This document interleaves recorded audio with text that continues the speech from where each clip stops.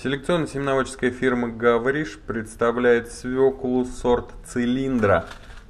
Это среднеспелый сорт, 120-130 дней вегетационного периода, дает корнеплод массой 250-600 грамм, мякоть темно-красная, без колец, с хорошими вкусовыми качествами. Ценность сорта в высокой товарности, урожайности и выровненности корнеплодов. Урожайность данного сорта от 7 до 10 кг на квадратный метр. Номер партии 21 891, количество семян 5 грамм.